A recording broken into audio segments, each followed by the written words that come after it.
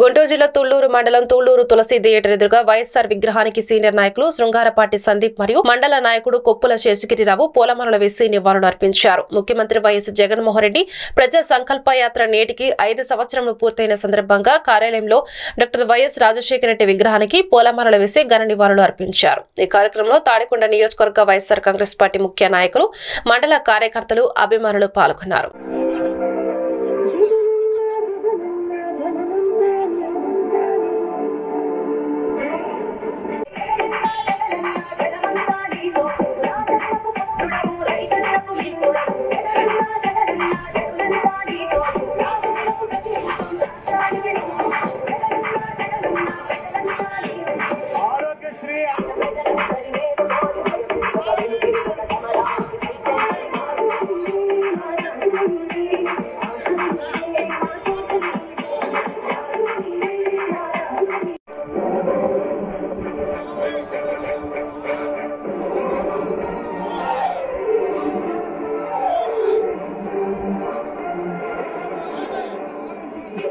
జగన్మోహన్ రెడ్డి గారు ఆయన ప్రతిపక్ష నాయకుడిగా ఉన్నప్పుడు అప్పుడు అరాచక పాలన చంద్రబాబు నాయుడు రాష్ట్రాన్ని సర్వనాశనం చేస్తూ ప్రజలందరినీ పేద పడుగు బలహీన వర్గాలందరినీ కూడా అగమ్య గోచరానికి గురి చేస్తూ రాష్ట్రాన్ని రామకష్టం చేసినటువంటి పరిస్థితుల్లో అప్పుడు ప్రతిపక్ష నాయకుడు ఉన్నటువంటి గౌరవనీయులు వైఎస్ జగన్మోహన్ రెడ్డి గారు దాదాపుగా మూడు వేల ఆరు వందల నలభై ఐదు కిలోమీటర్ల పాదయాత్ర చేసి మూడు వందల నలభై ఒక్క రోజులు దాదాపుగా రెండు కోట్ల మంది పైచిలకు అప్పుడు ప్రజలు కలిసి ప్రజల కష్టాలు తెలుసుకొని నేను ఉన్నాను నేను విన్నాను అని చెప్పి చెప్పి ఏదైతే చెప్పారో అప్పుడు నవరత్నాలు ఏదైతే హామీ ఇచ్చారో ఆ నవరత్నాలు ఇప్పుడు దాదాపుగా తొంభై ఎనిమిది పర్సెంట్ పేద బడుగు బలహీన వర్గాలకి ఈరోజు సంక్షేమాన్ని ఇస్తున్నటువంటి ఘనత గౌరవనీయులు వైఎస్ జగన్మోహన్ రెడ్డి గారు.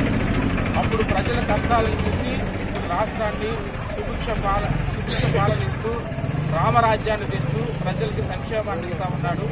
ఆ పాదయాత్ర ముగింపు రోజును గుర్తు చేసుకొని ఈరోజు వైఎస్ఆర్సీపీ నాయకులు కార్యకర్తలు గుంటూరు గుంటూరులో ఘనంగా ఈ కార్యక్రమాన్ని నిర్వహించడం జరిగింది. జై జగన్! మండలంలో జగన్ గారి పాదయాత్ర.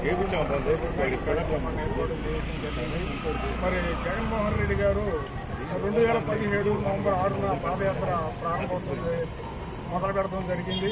మరి అనేక గ్రామాల్లో తిరుగుకుంటూ గ్రామంలో ఉన్న సమస్యలను ప్రజల సమస్యలను తెలుసుకుంటూ దాదాపు రెండు వేల పైసలకు గ్రామాలను సందర్శించి రెండు కోట్ల మందిని ప్రత్యేకంగా కలుసుకొని వారి సమస్యలను తెలుసుకొని మరి మ్యానుఫ్యాక్చర్లో ఆ సమస్యలన్నీ పెట్టి నవరత్నాలను ఏర్పాటు చేయడం జరిగింది.